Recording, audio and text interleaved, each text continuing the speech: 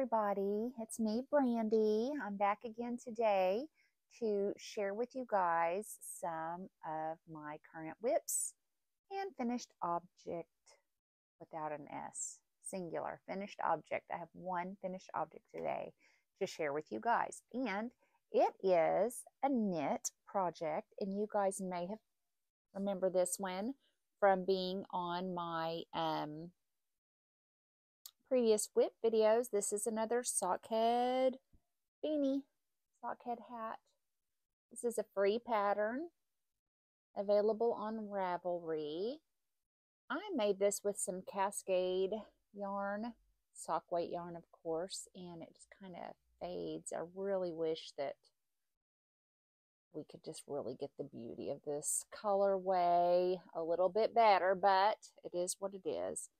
And as you guys know, I love these beanies. I did recently chop all my hair off because I decided that I'm just going to quit dyeing it and see what happens when we see all the white hair that I have.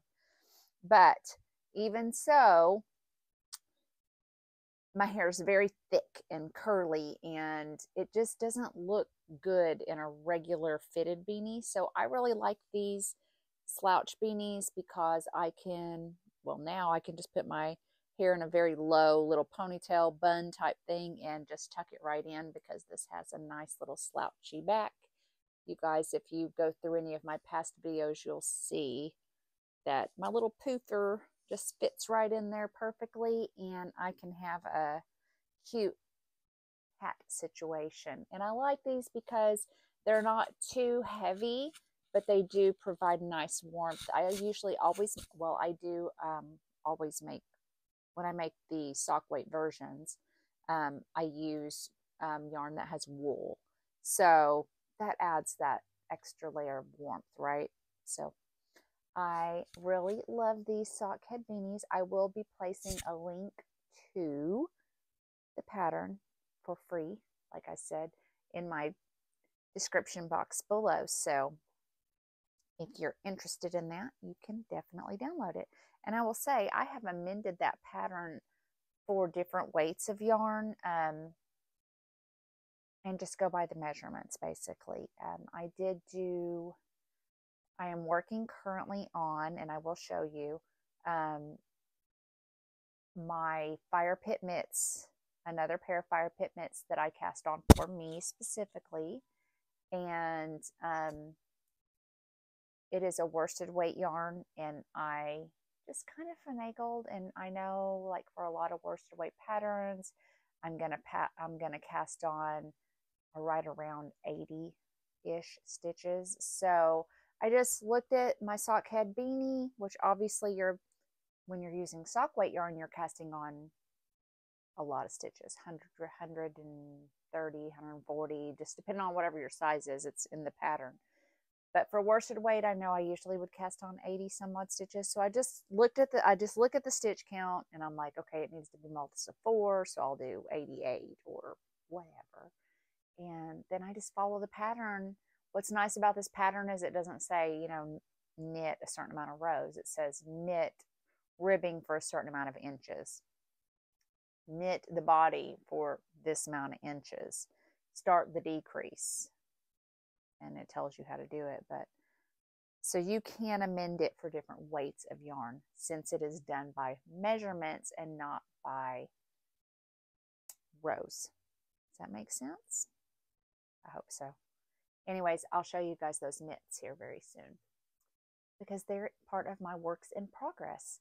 If you um, viewed my previous videos, you will know that I have decided to implement WIPGO for my projects so that I can get stuff done and get my hands on some things that I have forgotten about and put aside and haven't yet finished. So it's just a way for me to get things going. So if you need to remember or need to remember, if you need to know more about that, just look at my previous video from yesterday or even I've been talking about this for the last couple of videos. So I'm going to set this here and we're going to go on to my first work in progress that is on my WIP Go this week, and it is the Boneyard Shawl by Stephen West. And man, I've really been getting busy on it. I wish I could really stretch it out and show it to you guys, but I can't because my cord is just not long enough. But it's a triangular shaped shawl. This is where it starts with a garter tab cast on, and then it's just rows of stockinette, and you bring in a garter row every so often to help break that up a little bit. Maybe what I can do so we can see one side of the shawl, right? Maybe, maybe from one point forward. I don't know. The triangular is getting much bigger, so I cannot stretch it all the way out. But it's so beautiful. This is an ice yarns that I picked up. It is the Favorite Magic is what it's called. It's a worsted weight yarn. And I have four skeins of it. I'm almost done with this first skein. Now that we are in the bigger part of the triangle, you know, you go through a skein so fast because you're going one row can take half a skein of yarn, it seems like. But I do have four skeins of this, so I'm just going to continue until it's as big as I want it. I figure I want the top edge of the triangle. Let me pull that down a little bit. So this edge right here, I need it to be, right now it is, no, we cannot, we just cannot see. So if we did that and we bring it, I can just gonna have to measure it basically, but right now, if I have my arm straight out, because I want to be able to hold the edge and I want it to be a, at least a full wingspan for me. That's how I like my shawls to be.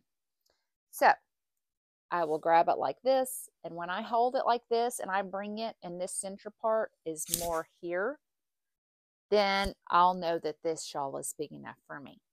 Because I like a I like a big shawl that I can really wrap up in. If I'm going to take the time to make one, I want it to be something that I'm going to wear and wear frequently. I made the mistake when I first started learning to crochet and knit and do all the things that I would make things um, the way a pattern said to do it or maybe the way someone else did it. And then I would put them on and I wouldn't enjoy them and I wouldn't wear them because I just didn't want to have it like a little ascot scarf thing. I want it to be big and cozy, and then I know that I'm going to use it a lot. Um, right here is my Andrea Mowry's night shift shawl. And that's a pattern. It's okay sized, but it's not enough for me. So I knew that in advance and I did additional repeats. So I like a pattern like this one where you can go and go and go until you get exactly what you want. Um, so that's what's nice about this pattern. As I said, this is a Stephen West pattern. It is a free pattern. And he does have a tutorial here on Facebook or on Facebook, on YouTube. And I will put a link in the description box directly to that tutorial. So if you want to give it a shot, you can walk right through it with Mr. Stephen. He can help you with that. Okay. Of course. Well, yep, of course, I wouldn't have everything at hand. I would have to not have one thing at least at hand. So I'm going to stand up. Sorry.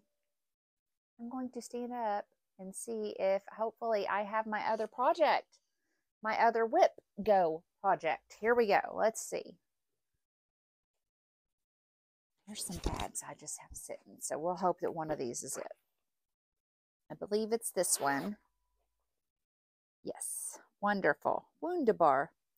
So, in a previous video, you guys had seen, I have shown this in a previous WIP video, that I was making myself another pair of the Knit Fire Pit Mitts.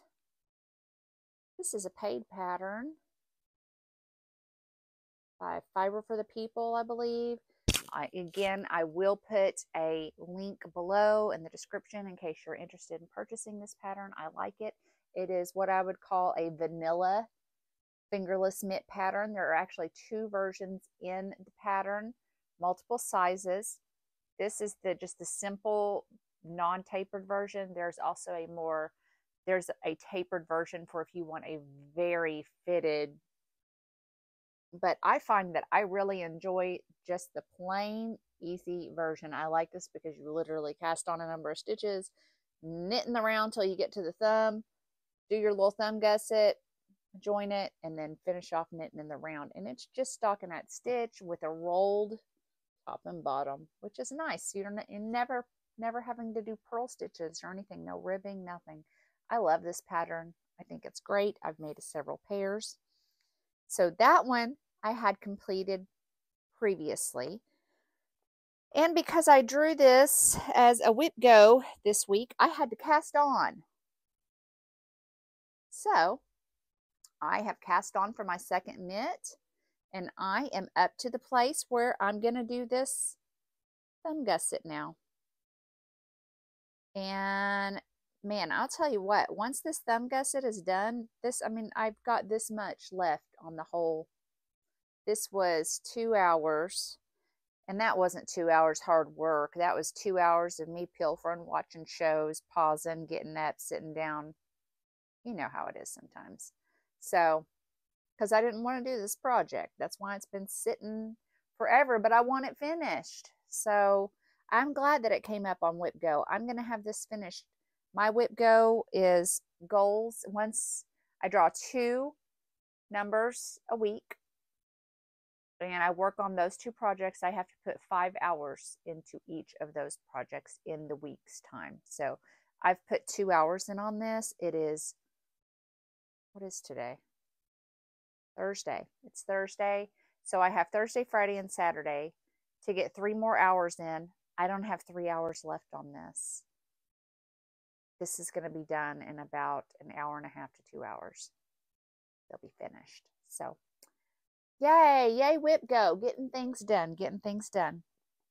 So, that is my other one. And I think what I'm going to do, because that's only going to take an hour to an hour and a half in the same bag with this, I do have the ones that I made for my mother. Um, and, you know, mother's, her birthday's coming up on February 9th. February 9th. Real quick, next week. So, what I think, because can you believe it's February 1st, guys? What I think I'm going to do, let me get that up. All I have to do on hers is the little teeny, you know, few rows of thumb stitching, and hers are done, and I can mail them out to her. So, because I still have three hours left to dedicate to that, and that's only going to take me an hour and a half or so, I'm going to use the additional time to get her thumbs put on there and mail her her beautiful charcoal wool fingerless mitts because she is one of those people. She wears black, black, black, black. And I told her, I said, I'm not doing any more black stuff for you.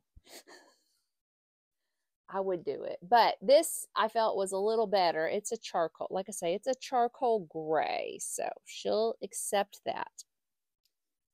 And she'll be happy for it because she's knit worthy. So that will be done, done, done, and in the mail ASAP. Now, that is everything for my WIP Go and what I worked on outside of WIP Go, I was working on something else. I did not bring my half and half triangle shawl in here to show you guys because even though I've worked on it, it's just not that noticeable. And how many times do you guys want to see me haul that big dude out and show it to you? Um, I can tell you that I'm on the second triangle and I'm at the point where you start with one stitch and then you wrap and turn and resolve. And then you go back and you do the second stitch, wrap, turn, and resolve. Third, fourth, keep going back and forth all the way down. There's 260 stitches. I have finally hit where I have completed 100. So 160 more wrap and turns, guys, and it will be done. And I will say yay. I don't know if I'll ever make another one or not. I don't know. But the other thing that I have been working on is I had spoken to you guys when I showed you my completed wild oleander hooded scarf is what that pattern was called. I told you that I wanted to make a, a ver- my own version and I was going to call it, well, I'll tell you what I'm to call it later. But I wanted a granny, I wanted a granny version, right? Because I was like, granny, look, this is my granny, my three quarter sleeve granny oversized. It's kind of big and oversized. You can't see what I'm doing down here, but it's a little longer.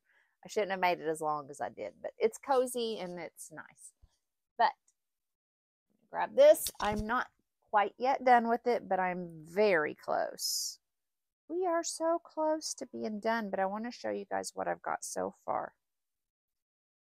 Okay. Um, so this is a granny version. I'm just going to bring it up, up, up, up, up, up, up. Obviously, I haven't sewn in anything because it's a work in project. Progress.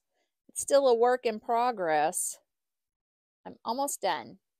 I need to do about 10 more rows on this neck. So I'm just going to slip this on just so you guys can see what we got going on here and now. Yeah, still got another 10 rows on that hooded cowl part of this. So it's pretty similar in size and dimensions at this point to the other one that I made. Just obviously got to get, this is pulling, um, you can see my head back here. This this cowl is not long enough, but like I say, another 10, 12 rows or so ought to get it to where I want it. But this is the, this is the idea. And I'm trying to decide. You guys tell me, what do y'all think? Do we want fringe on this one or no fringe? I have not yet decided. I don't know. I thought about maybe doing a picot border on the edge.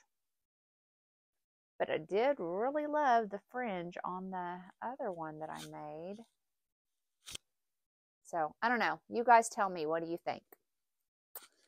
And if all goes well, which it feels that it is going well to me, I'm at a point right now where I'm fixing to go down um, a hook size just to finish this last third or so of this hooded cowl part of it. Um, just to help bring it in a little bit because I like it to be a little, I'm not decreasing stitches to tape or anything, but I am going, making my hook size smaller consecutively so that it kind of has a little more firmness to it. It's not so floppy at the top. There, maybe that's what I'm trying to say. Anyway, so that's where we're at on that. I'm feeling pretty good about what I've got done this week and how things are going. I'm getting my life more organized, and that makes me really happy. The WIP Go thing is going great because it's allowing me to lay hands on my cross stitch projects and on my fiber arts projects. I feel like I'm going to get so much more done. So there's some order in this chaos that is part of the fun of being artistic and crafty, right? If it's very rigid, I don't enjoy it. So I'm getting a little bit of organization happening with the WIP Go, but I'm still having the freedom, uh, variety, and playing with new things and starting new things if I want and doing all the things that I want to do. Um, so it's kind of the best of both worlds for me. And like I said, I do go over that more in my previous video um, about WIPGO. Um, but I'm also, I'm feeling pretty good. I've noticed that I've always wanted to be, I want to be a schedule person, but I really have found that when I sit down and I write out a schedule that's like wake up at 6:30, 6:30 to 7, drink coffee, check email, 7 to 8, go for a walk, you know, like if I do that where I have time set for everything, I inevitably fail. And I usually do it pretty quick because I get off at one day i'm definitely going to get off one day and then i feel like oh i i'm not doing it i'm no good at this i can't do it but i decided and it just occurred to me and i thought geez whiz you are 47 years old why are you just now figuring this out? I get i wrote myself a schedule but it doesn't have times on it. It's just do it in this order and that is working so good for me. So now it's like, wake up. Okay. It doesn't matter if it's a Monday or a Saturday. It's wake up when I wake up. When I wake up is when I'm getting up. I usually wake up right at seven o'clock. Actually, I usually wake up at six, take my thyroid medicine, and then go back to sleep for one hour. But, um, anyways, wake up, have coffee, come alive, basically. Um, chores. Chores is all the things that I want to do around my house that day. After that, get ready for the day. After that, do YouTube video. After that, have time, free time for crafting. So there's no times attached to this, is my whole point. And it's working great because I'm not thinking to myself, oh my gosh, I'm behind. I'm behind. I should have done this, this, this, and that. I failed. Like it's over. I ruined it. Just forget the whole thing because I do that. I do that to myself. So, and because I have actually, it's coffee, chores, and then I walk. I do my walk for the day, and then I get ready. Um, and I, because that is worked in, after I get done doing all the things I need to do around my house, I know that I'm going to do my walk next. That's the next thing. And so I've been actually doing my walk because when I had my walk set to do at a certain time, if I was running behind, that was the first thing that was going out the window. It's like, no, we don't have time for the walk now. Like we missed that. We messed up. We got to remove that. So now that there's no times attached, I can do my walks. And I have been doing my walks. And I'm getting all kinds of little notifications on my watch congratulating me and giving me trophies and awards. Um, someone mentioned a check. No. Okay. Um, anyways, I'm feeling pretty good about it. I'm doing good. And I had told you guys that I was trying to get away from drinking the pops again because my stomach is not enjoying that. So that's going okay. I'm just finding that I, even though I, I will tell you, I've always been one of those kind of people that I can drink a cup of coffee and then immediately take a nap. Like I don't feel like caffeine has any real effect on me unless I have wildly way too much and then I feel, you know, nauseous and anxious. But just normal amounts of caffeine, I don't feel like gives me energy but it must do something because I have noticed that my my brain fog has been a little more active in the like mid to late afternoon when I would normally have like a diet Dr. Pepper or something. So anyway, I'm just I don't need to waste my money on that anyways. And apparently it's no good for my belly. Um so that's going good. Was there anything else I want to tell you guys? Any more personal information that y'all don't even want to know that I'm just going to blab to you about, anyways? Because, yeah, we're friends now. I get to tell you everything. Um, I think that's about it. So I have a uh, mini tutorial on crochet I-cord that I am posting up very soon. Um, I need to get that done for you guys. Um, I've had a couple people ask me. I had shown it's been, it was just a live impromptu video that I did last week. Um, and I had on a, basically it was a Ruana that I ended up closing the front of it up. So it was open, completely open on each side. And I love wearing it, but the thing is, is that I feel like it, it slides around shifts too much. So what I had done was I had crocheted some I-cord and I basically just come underneath each arm and I run the cord through and I tie it. So, um, and I like crocheted I-cord. I actually use it quite often um, for different shawls, wraps, things like that. Anything that I might want to secure together, but I don't necessarily want to seam up because I might want to adjust it or wear it a different way. So I can use the I-cord in the matching yarn and it's sturdy. It's far, far, far better than just like a crocheted chain. It is a true I-cord. Um, so I'm going to show you guys how I make my I-cord and it doesn't take very much yarn. It doesn't take very much time. And I bet you can find a whole bunch of uses for your I-cord. So you can tie your hair up in pigtails with it if you want. That'll be adorable. Darling. Okay, I think that's all, guys. Um, be on the lookout for that next uh, I-cord video. And I'm sure I'm going to come up with all kinds of other shenanigans before you know it.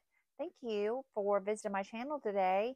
If you've subscribed, I sure appreciate you and welcome back. And if you haven't subscribed yet, give it a shot. It's going to be awesome. We're all going to love it and be so happy and I don't know, it's going to be good. It's going to be real good. I have a feeling about it. So, you guys take care, and I will see you next time. Bye.